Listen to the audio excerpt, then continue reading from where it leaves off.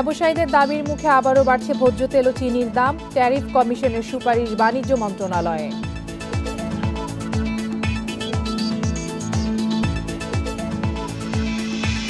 জ্বালানির বাড়তি খরচে সংকটে পোশাক খাত, প্রতিযোগিতায় টিকতে পণ্য বহুমুখী করার পরামর্শ।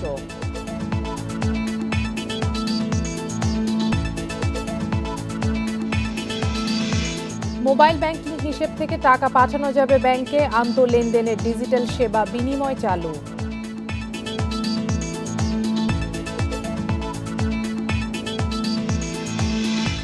স্বল্প সুদে আইডিএ থেকে সহায়তা চান অর্থমন্ত্রী। বিউটিফুল ঢাকা প্রকল্প বাস্তবায়নে ঋণ দিবে বিশ্বব্যাংক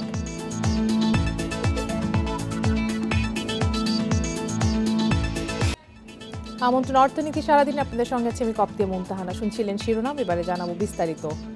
আবারও বাড়ছে সয়াবিন তেল, পাম তেল এবং চিনির দাম। এবার ব্যবসায়ীদের দাবির প্রেক্ষিতে এলসি নিষ্পত্তির ডলার দর অনুযায়ী এসব নিত্যপণ্যের দাম নির্ধারণের সুপারিশ করেছে ট্যারিফ কমিশন। এতে ডলার প্রতি বিনিময় মূল্য বাড়ছে দশ টাকা, ফলে বাড়তি শুল্কসহ লিটার ও কেজিতে পণ্যের দাম বাড়তে পারে দশ থেকে পনেরো টাকা পর্যন্ত। দু একদিনের মধ্যে আসতে পারে দাম বাড়ানোর সিদ্ধান্ত। কয়েক মাস ধরে আমদানি বিলে ব্যাংকগুলোকে ডলারের দাম গুনতে হচ্ছে একশো পাঁচ টাকার বেশি। বেশি দামে ডলার কিনে ভোজ্য তেল, চিনি আমদানি করলেও শুল্ক বিভাগ তা পঁচানব্বই টাকা ধরে হিসাব করছে বলে দাবি ব্যবসায়ীদের। ট্যারিফ কমিশনও সেই অনুযায়ী এসব পণ্যের মূল্য সুপারিশ করত। গেল বৃহস্পতিবার বাণিজ্য মন্ত্রণালয়ে পাঠানো প্রতিবেদনে ডলারের বিনিময় হার বাড়িয়ে পণ্য মূল্য সুপারিশ করেছে কমিশন। ইনবন্ড এবং এক্সবন্ডের ক্ষেত্রে আমরা কাস্টম হাউসের যে রেটটা পাইতাম আগে, সেই রেটটা নিতাম। তো সেই ক্ষেত্রে যে রেটটা আমরা কাস্টম হাউস সচরাচর দিয়েছিল, সেটা আসলে ব্যবসায়ীদের কিছুটা দ্বিমত থাকতো। তো এইবার যেটা হয়েছে যে, প্রকৃত ব্যাংক রেটের সাথে কাস্টম হাউস সমন্বয় করেছে। তো সমন্বয়টা যেহেতু যথাযথ হয়েছে, সেই ক্ষেত্রে কনভার্সন রেটে একটা পরিবর্তন এসেছে। তো ওই পরিবর্তনটাকে আমরা কনসিডার করেই এইবার আমরা প্রতিবেদন প্রেরণ করেছি। একশো পাঁচ টাকা কনভার্সন রেট ধরা হয়েছে। যেহেতু ডলারের বিনিময় হার বাড়ছে তাই ভোজ্য তেল ও চিনি আমদানিতে শুল্কের পরিমাণও বাড়বে। সব মিলিয়ে বলা যায় এসব পণ্যের দাম বৃদ্ধি এখন কেবল ঘোষণার অপেক্ষা মাত্র। আমাদের ডলারের বিনিময় হার কিন্তু অনেক বেড়ে গিয়েছে। সেই অনুযায়ী শুল্কও বেশি হয়েছে। সুতরাং দাম সরকার সবসময় চেষ্টা করছেন কম করা কিন্তু অনেক ক্ষেত্রে কম করা যাচ্ছে না কারণ এই পণ্যগুলো সব বাইরে থেকে আসে। দাম বাড়বে নিশ্চিত হয়েই খুচরা পাইকারি ও মিল পর্যায়ে পণ্য মজুতের চেষ্টা করছেন অনেক ব্যবসায়ী। তাই বাজারে আগের মতো সয়াবিন তেল চিনির দেখা মিলছে না। যদিও বাজারজাতকারী প্রতিষ্ঠানের দাবি বিদ্যুৎ গ্যাসের সংকটে কমেছে পরিশোধন ক্ষমতা। আমার ফ্যাক্টরি থেকে রেগুলার সাপ্লাই হচ্ছে। আপনি তো জানেন যে গ্যাসের একটা সমস্যা যেটা হচ্ছিল যেটা তো এখনও সমাধান হয়নি। কারণ কোনো মিলি আপনার হান্ড্রেড পার্সেন্ট প্রোডাকশন ক্যাপাসিটিতে চালাতে পারছে না।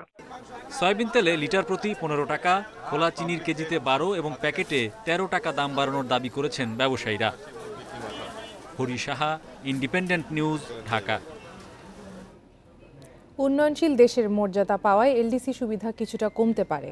সেজন্য এখন থেকে প্রস্তুতি নেওয়ার আহ্বান জানিয়েছেন প্রধানমন্ত্রী শেখ হাসিনা। দুপুরে মেড ইন বাংলাদেশ সপ্তাহের উদ্বোধন করে বিনিয়োগের জন্য বাংলাদেশকে বেছে নিতে বিদেশি বিনিয়োগকারীদের প্রতি আহ্বানও জানান প্রধানমন্ত্রী। রপ্তানি আয়ের অন্যতম উৎস তৈরি পোশাক শিল্প। চার দশমিক তিন পাঁচ বিলিয়ন ডলার রপ্তানি আয় আসে এ খাত থেকে। আর তা যুক্ত হয় রিজার্ভে। বিশ্বের কাছে শিল্পকে তুলে ধরতে তাই ঢাকায় শুরু হয়েছে মেড ইন বাংলাদেশ উইক। ইউরোপীয় ইউনিয়ন সহ বিশ্ববাজারে দেশের এ খাতকে ব্র্যান্ডিং করছে বিজিএমইএ। বঙ্গবন্ধু আন্তর্জাতিক সম্মেলন কেন্দ্রের উদ্বোধন করেছেন প্রধানমন্ত্রী। এ সময় নিজ বক্তব্যে বাংলাদেশকে বিনিয়োগের উপযুক্ত স্থান হিসেবে উল্লেখ করে বিদেশি ব্যবসায়ীদের এর অংশ হওয়ার আহ্বান জানান শেখ হাসিনা। আমাদের নীতিমালা হচ্ছে বিনিয়োগ বান্ধব নীতি। একই সঙ্গে বিশ্বের বিভিন্ন দেশে বাংলাদেশি পণ্যের শুল্কমুক্ত, কোটামুক্ত সুবিধা বিদেশি বিনিয়োগকারীদেরও আকর্ষণ করছে। আমি কূটনীতিক এবং বিদেশি ব্যবসায়ীদের প্রতি আহ্বান করব উইন উইন পরিস্থিতির জন্য ব্যবসার সুবিধার্থে বিনিয়োগ এবং সোর্সিংয়ের জন্য বাংলাদেশকে বেছে নিন। সবথেকে উপযুক্ত জায়গা বাংলাদেশ। রপ্তানি পণ্যের বৈচিত্র্য ও বিশ্বব্যাপী বাজার সৃষ্টির তাগিদ দিয়ে সরকার প্রধান আরও জানান, উন্নয়নশীল দেশের মর্যাদা পাওয়ায় এলডিসি সুবিধা কিছুটা কমতে পারে। সেজন্য এখন থেকেই প্রস্তুতি নিতে হবে। দু হাজার আমাদের এলডিসি গ্র্যাজুয়েশন কার্যকর করার কথা আমরা দু বছর সময় নিয়েছি, দু হাজার ছাব্বিশ পর্যন্ত। এছাড়া দু হাজার উনত্রিশ পর্যন্ত আমাদের হাতে সময় আছে। এর মধ্যে সমস্ত প্রস্তুতি আমাদের নিতে হবে। যে উন্নয়নশীল দেশের একজন ব্যবসায়ী হিসেবে হয়তো কিছু ক্ষেত্রে আমরা সুবিধা পাবো না কিন্তু এর থেকে অনেক অনেক বেশি সুবিধা আমরা পেতে পারব উন্নয়নশীল দেশ হিসেবে। নির্বাচনী ইস্তেহারে প্রতিশ্রুতি অনুযায়ী বাংলাদেশ বদলে গেছে উল্লেখ করে চলমান বৈশ্বিক মন্দা মোকাবিলায় সমন্বিত উদ্যোগ নেয়ার তাগিদও দেন প্রধানমন্ত্রী। এই তেরো বছরে যেটা ঘোষণা দিয়েছিলাম যে বদলে যাবে বাংলাদেশ আমরা কিন্তু সত্যি বাংলাদেশ আজকে বদলে গেছে। যে রূপকল্প ঘোষণা দিয়েছি, প্রেক্ষিত পরিকল্পনা আমরা নিয়েছিলাম, তা আমরা বাস্তবায়ন করতে সক্ষম হয়েছি।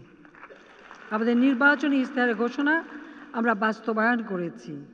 এ সময় শিল্প কারখানাকে পরিবেশ বান্ধব করার তাগিদ দেন প্রধানমন্ত্রী শেখ হাসিনা। কাজে চতুর্থ শিল্প বিপ্লবের সাথে উপযুক্ত দক্ষ মানব সম্পদ আমাদের গড়ে তুলতে হবে। অনিমেষ কর ইন্ডিপেন্ডেন্ট নিউজ ঢাকা। মূল্যস্ফীতি ও জ্বালানির দাম বাড়ায় পোশাক কারখানাগুলো বিশ্ববাজারে প্রতিযোগিতায় টিকে থাকতে হিমশিম খাচ্ছে বলে জানিয়েছেন বিজিএমইএ সভাপতি ফারুক হাসান। এ অবস্থায় পণ্য বহুমুখীকরণের পাশাপাশি নতুন বাজার খোঁজার পরামর্শ দিয়েছেন প্রধানমন্ত্রী বেসরকারি শিল্প ও বিনিয়োগ উপদেষ্টা সালমান এফ রহমান। তৈরি পোশাক শিল্পের আকার এখন চার হাজার তিনশো কোটি ডলার। আর পোশাক রপ্তানিতে বিশ্বে দ্বিতীয় বাংলাদেশ।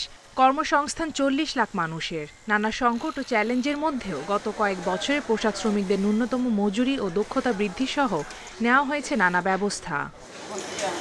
মেড ইন বাংলাদেশ উইকে বিজিএমইএ সভাপতি জানান, করোনার ক্ষতি কাটিয়ে ওঠার আগে রাশিয়া ইউক্রেন যুদ্ধ পোশাক শিল্পের গতি ব্যাহত করেছে। মূল্যস্ফীতির কারণে বিশ্ববাজারের সঙ্গে তাল মেলাতে হিমশিম খাচ্ছেন তারা। তার উপর জ্বালানি সংকট পরিস্থিতিকে করেছে আরও নাজুক। বিদ্যুতের অপতুলার কারণে কারখানাগুলোতে ডিজেল দিয়ে জেনারেটর চালানো হচ্ছে। এতে করে শিল্পে উৎপাদন ব্যয় বাড়ছে।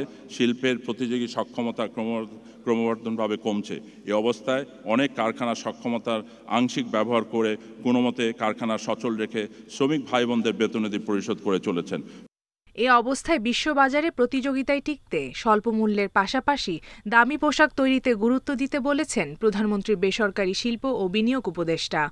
বলেছেন এর বহুমুখীকরণের কথা। আমাদেরকে কিন্তু মার্কেট ডাইভার্সিফিকেশন এখন খুব প্রয়োজন। প্রোডাক্টগুলি আছে, এটা লো ভ্যালু প্রোডাক্ট আমাদেরকে কিন্তু হাই ভ্যালু প্রোডাক্টের দিকেও আমাদের কিন্তু এমফেসিস দিতে হবে। বিশ্বে দেশের পোশাক শিল্পের ব্র্যান্ডিংই মেড ইন বাংলাদেশ সপ্তাহের লক্ষ্য। এতে অংশ নিচ্ছেন সাড়ে পাঁচশোর বেশি বিদেশি ব্র্যান্ড ও ক্রেতা। Koptia Mumtahana independent news Dhaka. শিগগিরই সব সরকারি সেবা শতভাগ ডিজিটাল হবে বলে জানিয়েছেন প্রধানমন্ত্রী তথ্য ও যোগাযোগ প্রযুক্তি উপদেষ্টা সজীব ওয়াজেদ জয়। আগামী নির্বাচনে আওয়ামী লীগ জিতলে নগদ টাকা ছাড়া সব লেনদেন নিশ্চিত করা হবে বলে জানান তিনি। সকালে রাজধানীতে আন্তঃলেনদেন সেবা কার্যক্রম বিনিময়ের উদ্বোধনী অনুষ্ঠানে এসব কথা বলেন সজীব ওয়াজেদ জয়। দেশের সব ব্যাংক বিমা মোবাইল আর্থিক সেবা প্রতিষ্ঠান এবং পেমেন্ট সার্ভিস প্রোভাইডারদের মধ্যে লেনদেন নির্বিঘ্ন করতে চালু হলো interoperable digital transaction platform Binimoy. প্রধানমন্ত্রীর তথ্য ও যোগাযোগ প্রযুক্তি বিষয়ক উপদেষ্টা সজীব অজিত জয় রাজধানীর একটি হোটেলে এ কার্যক্রমের উদ্বোধন করেন। এ সময় সজীব অজিত জয় বলেন, একটি দুর্নীতিমুক্ত সমাজ ব্যবস্থা করতে ক্যাশলেস সোসাইটি গঠনে কাজ করছে সরকার। এরই ধারাবাহিকতায় একটি নতুন মাইলফলক হিসেবে কাজ করবে এই প্ল্যাটফর্ম। সামনে নির্বাচন আছে, এক বছরের মধ্যে তো হবে না, কাজ আমরা আরম্ভ করেছি বাট আমার টার্গেট আছে, বাংলাদেশের মানুষ যদি আওয়ামী লীগ সরকারকে আগামী নির্বাচনে ভোট দিয়ে ফের ক্ষমতায় রাখে, আগামী টার্মের মধ্যে বাংলাদেশের হান্ড্রেড পার্সেন্ট মানুষের ব্যাংক অ্যাকাউন্ট থাকবে তারা সম্পূর্ণ ক্যাশলেসভাবে চলবে। প্রধানমন্ত্রীর এই উপদেষ্টা জানান ডিজিটাল বাংলাদেশের সব পরিকল্পনা ও ব্যবস্থাপনা দেশের। বিদেশি অনেক প্রতিষ্ঠান এই ডিজিটালাইজেশন মডেলকে অনুসরণ করছে। দেশের শতভাগ সরকারি সেবা ডিজিটালাইজড করতে আরও কিছু সময় লাগবে বলে উল্লেখ করেন তিনি। বেশিরভাগ অ্যাপ যত ওয়েবসাইট যত কিছু আছে সরকারি ম্যাক্সিমাম আমি বলব নাইনটি নাইনটি ফাইভ পার্সেন্ট আমাদের বাংলাদেশে বানানো, বাংলাদেশি কোম্পানিদের থ্রু দিয়ে বানানো। সম্পূর্ণ নিজস্ব। সেই সরকারি সেবা এখন অর্ধেকের উপর ডিজিটাইজ হয়ে গেছে, বাকি অর্ধেক পরিকল্পনায় আছে, তাদের প্রজেক্ট প্ল্যানিং হয়ে গেছে প্রজেক্ট ডিজাইন হয়ে গেছে, কাজ চলমান আগামী কয়েক বছরের মধ্যে। আমাদের পরিকল্পনা আছে যে হান্ড্রেড পার্সেন্ট সরকারি সেবা সম্পূর্ণ ডিজিটাইজ হয়ে যাবে।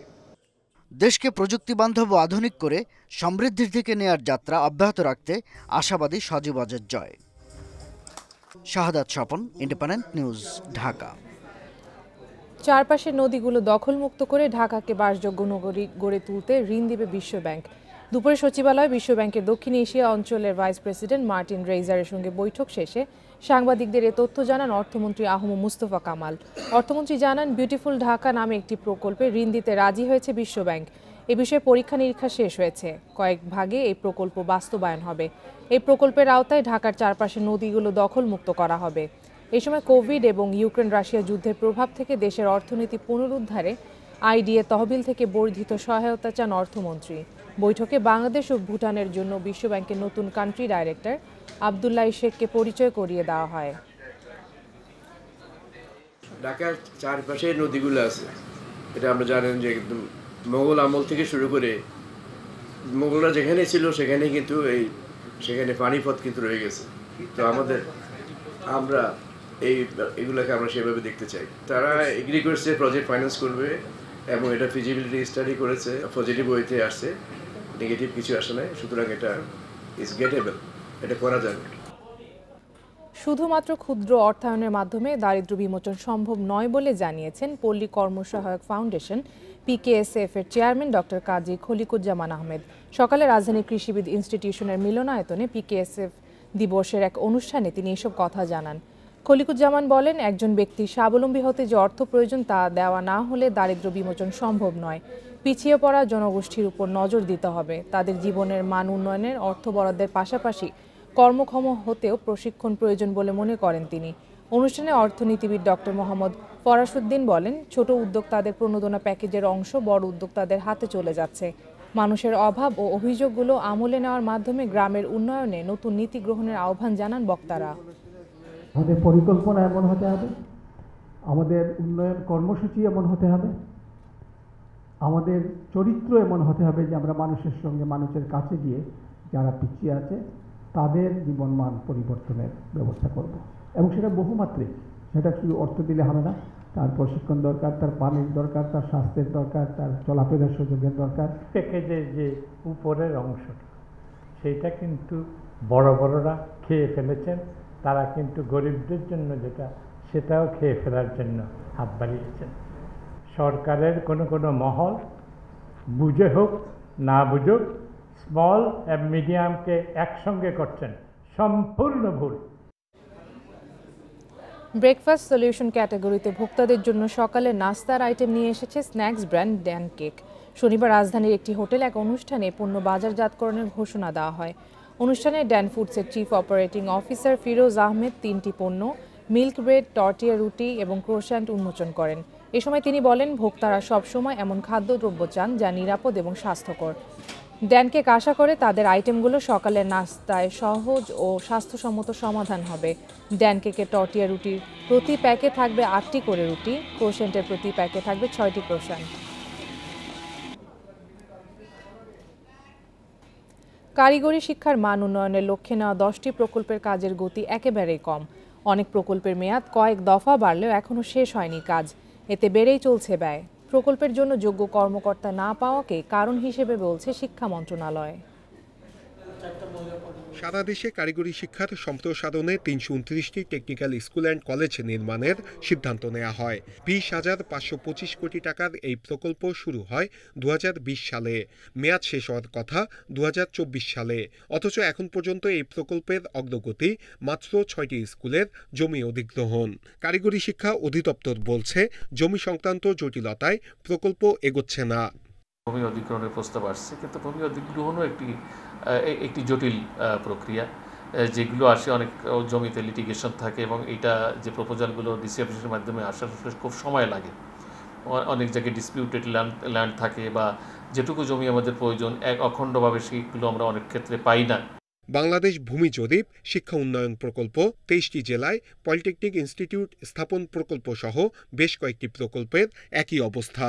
বিশেষজ্ঞরা বলছে, সরকার এত টাকা বরাদ্দ দিলেও প্রকল্প বাস্তবায়ন না হওয়ায় এর সুফল মিলছে না।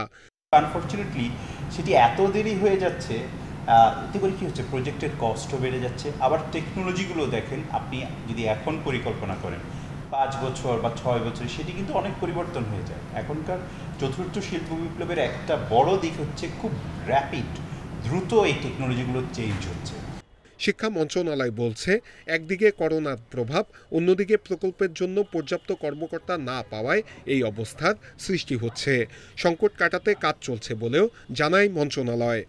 দক্ষ প্রকল্প পরিচালক প্রয়োজন, সে সে পরিমাণ দক্ষ, সে সংখ্যক দক্ষ প্রকল্প পরিচালক আমাদের বর্তমানে নেই। আমরা চাচ্ছি সবসময় যে এটা দেওয়া সম্ভব, সরকারের এত প্রকল্প চলে, সব জায়গায় সবসময় যে দিয়ে দেওয়া সম্ভব সেটা হয়তো সম্ভব হচ্ছে না। আমরা চেষ্টা করছি, পেলেই সেই প্রকল্পগুলো আশা করি গতিবৃদ্ধি পাবে।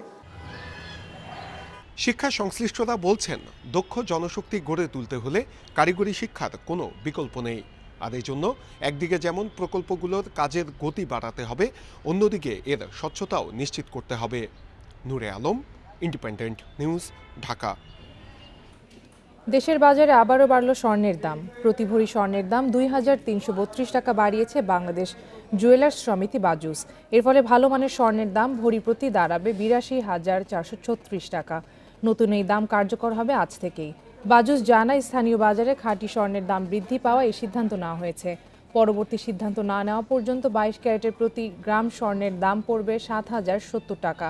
একুশ ক্যারেট মানে প্রতি গ্রাম স্বর্ণের দাম হবে ছয় হাজার সাতশো পঞ্চাশ টাকা। এদিকে বেড়েছে রূপার দামও। বাইশ ক্যারেটের প্রতি গ্রাম রূপার মূল্য একশো ত্রিশ টাকা নির্ধারণ করা হয়েছে। এবারে শেয়ার বাজারের খবর। দরপতন দিয়ে সপ্তাহ শুরু করল দেশের দুই স্টক এক্সচেঞ্জ। এ সময় ঢাকার শেয়ার বাজারে প্রধান সূচক কমেছে প্রায় উনপঞ্চাশ পয়েন্ট। লেনদেনের অবস্থান করছে সাতশো কোটির ঘরে। পাশাপাশি ডিএসসি ডিএসসির সাতষট্টি শতাংশ প্রতিষ্ঠানের শেয়ার ছিল ফ্লোর প্রাইজে অন্যদিকে চট্টগ্রাম স্টক এক্সচেঞ্জের সার্বিক সূচক কমেছে একশো বিশ পয়েন্ট লেনদেন হয়েছে চোদ্দ কোটি একাত্তর লাখ টাকার শেয়ার রোববার মূল্যসূচকের উত্থানে লেনদেন শুরু হয় ঢাকায় স্টক এক্সচেঞ্জে কিন্তু দুই মিনিট পর থেকে কমতে থাকে সূচক। সারাদিন লেনদেন চলে একই গতিতে। পরে দিন শেষে প্রধান সূচক ডিএসসি এক্স আটচল্লিশ দশমিক নয় তিন পয়েন্ট কমে অবস্থান করছে ছয় হাজার তিনশো চার পয়েন্টে মূল্যসূচকের পাশাপাশি লেনদেনও কমেছে ঢাকার শেয়ার বাজারে। ডিএসসিতে মোট লেনদেন হয়েছে সাতশো চব্বিশ কোটি পনেরো লাখ টাকার শেয়ার, যা আগের দিনের চেয়ে তিয়াত্তর কোটি আটাত্তর লাখ টাকা কম। হাতবদলে অংশ নেওয়া তিনশো চুয়াল্লিশটি কোম্পানি ও মিউচুয়াল ফান্ডের মধ্যে অপরিবর্তিত রয়েছে সাতষট্টি ভাগ প্রতিষ্ঠানের শেয়ার দর, যেখানে দর বেড়েছে মাত্র পঁচিশটির। কমেছে সাতাশিটির এবং অপরিবর্তিত আছে দুশো বত্রিশটি প্রতিষ্ঠানের শেয়ার দর। সবচেয়ে বেশি লেনদেন হওয়া প্রতিষ্ঠানের তালিকার প্রথম অবস্থানে উঠে এসেছে জেনেক্স ইনফোসিস, দ্বিতীয় ওরিয়েন ফার্মা এবং তৃতীয় অবস্থানে সামিট অ্যালায়েন্স পোর্ট শতাংশের দিক থেকে দরবৃদ্ধির তালিকার প্রথম অবস্থানে উঠে এসেছে চার্টার্ড লাইফ ইন্স্যুরেন্স, দ্বিতীয় বিডি ওয়েল্ডিং এবং তৃতীয় অবস্থানে আমরানেট। অন্যদিকে চট্টগ্রাম স্টক এক্সচেঞ্জে সার্বিক সূচক একশো বিশ দশমিক সাত আট পয়েন্ট বেড়ে অবস্থান করছে আঠারো হাজার ছয়শো বিয়াল্লিশ পয়েন্টে। লেনদেন হয়েছে চোদ্দ কোটি একাত্তর লাখ টাকার share. Koptia Mumtahana, independent news, Dhaka. এবারে জানাব বিশ্বের প্রধান প্রধান মুদ্রার সাথে টাকার আজকের বিনিময় হার। বেড়েছে যুক্তরাষ্ট্রের ডলারের দর। বিনিময় হয়েছে একশো ছয় টাকা চুয়াল্লিশ পয়সায়। যুক্তরাজ্যে পাউন্ডের দরও বেড়েছে। বিনিময় হয়েছে একশো আঠাশ টাকা তিপ্পান্ন পয়সায়। বেড়েছে ইউরোর দর। বিনিময় হয়েছে একশো বারো টাকা তেতাল্লিশ পয়সায়। ভারতীয় রুপির দর অপরিবর্তিত। বিনিময় হয়েছে এক টাকা আটত্রিশ পয়সায়। সৌদি রিয়ালের দর বেড়েছে। বিনিময় হয়েছে আঠাশ টাকা পঁয়তাল্লিশ পয়সায়। দর বেড়েছে, আরব আমিরাতের দিরহামেরও বিনিময় হয়েছে উনত্রিশ টাকা বারো পয়সায়। কুয়েতে দিনারের দরও বেড়েছে, বিনিময় হয়েছে তিনশো আটচল্লিশ টাকা চৌষট্টি পয়সায়। বেড়েছে মালয়েশিয়ান রিঙ্গিতের দর, বিনিময় হয়েছে তেইশ টাকা বারো পয়সায়।